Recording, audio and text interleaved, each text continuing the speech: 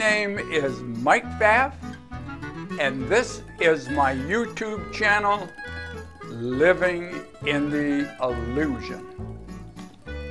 Now, last time we got together, we talked about uh, manifesting and uh, how manifesting works. And the conclusion was manifesting has nothing to do with the universe.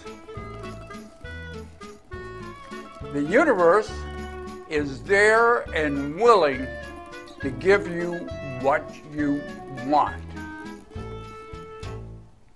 It's you that needs to change to match the frequency, the vibration of what you want. Because it's there. And when you change and match the frequency of what you want to make you happy,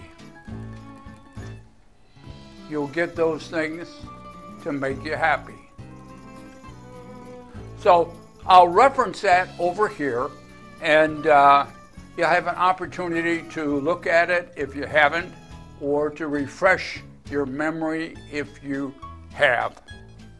So this week, we're going to talk about another concept that is misunderstood. And it is this there is no objective world. Now, we think there's an objective world because in the illusion, we look out and we believe we are seeing objects and that our outside world is filled with objects. Now, we're going to look at that very closely, and you may find there's no outside objects. Now, to begin to understand that, we're going to go back to another concept of uh, that we had uh, for eons and eons of time, and that is the world's flat. The world appears to the naked eye, to our great, great, great, great, great, great grandparents, to be flat. That's how they understood it. So we're going to look at that as a metaphor for the objective world. And we will begin to recognize that what we think is the objective world is basically eye candy developed by your inside belief system. So let's look at the flat world. Now I've started a little diagram here, and you can see there's a flat world. And on that flat world, everybody is. And there was a whole belief system around the flat world, both secular and religious. Whatever the religion was, eons of time ago. And basically, God was up here. And when you prayed to God, you looked up. Oh God, give me what I want. And couldn't understand a different concept because if it wasn't flat and God was up and God was down on the other side of a circle, how are you going to pray to him? You can't look, you got to look through the ground. Very confusing. So in the flat world, you have a lot of things going on. And uh, you get close to the edge, it's very exciting. Oh, what is there? What is there? If you get too close, you fall off. So if you went to sea, a lot of ships never made it back because they ran in to the edge and monsters were there and chewed them up and they disappeared. Uh, so uh, the flat world was how we interpreted our whole life.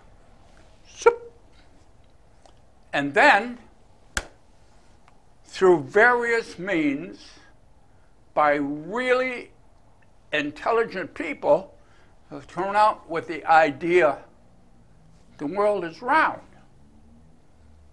So we changed from a flat world to a round world. But during that process, a lot of very smart people were burned at the stake, were ostracized uh, because they weren't doing it according to the, land, the, the, uh, the plan that God had in mind as determined by the social structure. So now we don't have a flat world. Now, there are some organizations, if you look real hard, that still believe the world is flat. And that is too bad. But for most of us, the world is round. Now, here's a question Was the world ever flat? Now, think about that for a minute. Was the world ever flat? Well, it appeared flat to the naked eye, to the uninformed. It was flat. But when you become informed, when you begin to look at the process clearly, we have a globe that we live on. So the flat world never did exist except as an artifact from the ancient times in our mind. And now, few places have a flat world. Now, what does that have to do with the objective world? Well, we're going to take a few videos, a few sessions to go through this. But basically, your objective world is again what the naked eye is telling you before you understand how your senses work. None of your senses work the way you have been programmed to believe. Your senses do not tell you what is outside of you. Your senses tell you certain inputs for the, for the five senses, certain amount of data and then that raw data must be interpreted. And how do you do that? You compare it to what you know, which is your past history. So the present awareness is determined by your past experiences. So the objective world is basically an inside creation and then a projection onto the outside energy system. Oh, very exciting how it does that. Uh, and we're, that's what we're going to talk about in the next several videos. So this is to raise your awareness that there is no outside objective world. The only world, and ancient wisdom also says this, going back to uh, the Upanishads and, and uh, ancient uh, understandings, there is no outside world. The only world there is is the one you create inside of you. How you do that, I'll reference, and I'll go through it next video. I'll reference the standard model for the illusion and how you create your world uniquely for you. And it's not objective outside, it is an inside, very specific creation. Now, what does the Course in Miracles have to say about this? And it always has something to say. Uh, because uh, this is very specific. We believe the flat world, and some people still do, well, eons and eons and eons of time. And if you didn't believe it, you had to ship out. You'd be ostracized, you could be killed, you'd be put in prison, all kinds of bad things because you didn't agree with social structure. That still happens with that. See, uh, a lot of people, a lot of mathematicians and uh, physicists have said there's no real world. Outside of you is only energy. Uh, Donald Hoffman uh, has many videos on that, and they would be helpful if you looked up his. I think I'll link to his uh, website, and you can look at some of that stuff. Now, as for the course, because how do you escape the illusion? Okay?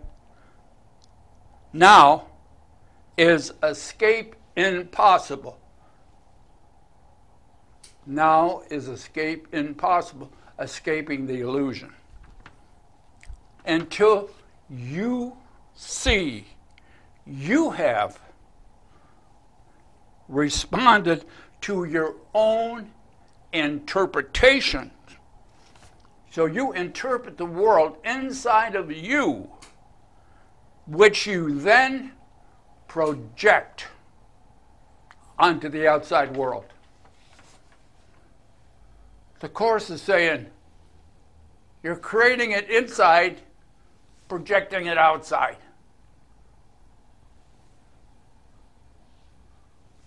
But you don't believe that. You believe it's outside. Oh, I see. I see a horse. I see a cow. I see a train. I see a car. I see a person. And you think they're outside. Nothing outside but energy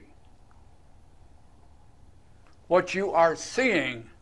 And as soon as you see them, recognize you've interpreted them that way.